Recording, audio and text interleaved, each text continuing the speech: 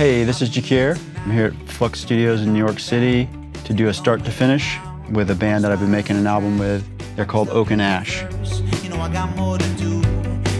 What we're going to get into is setting up and recording and executing this song.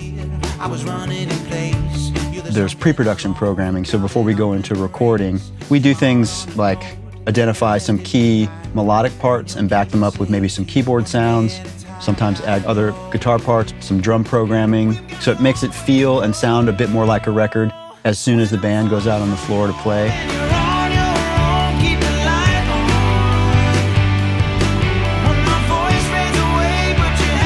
The way that I think about balancing a vocal, what is an element of the mix that I can relate the vocal to to have some sort of gauge of where it's sitting.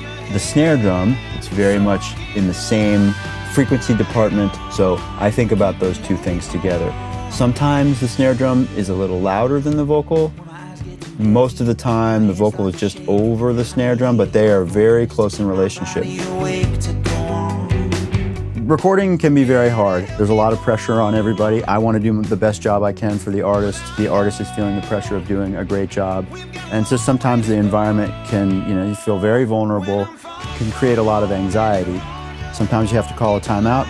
We're in a place where we have a plan where we can move forward. We're just taking it a little bit at a time. We'll get there. It's just we've got to navigate a difficult feeling uh, moment.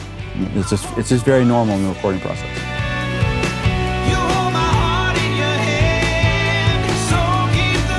Well, guys, I think we recorded our song. Nice. Yeah.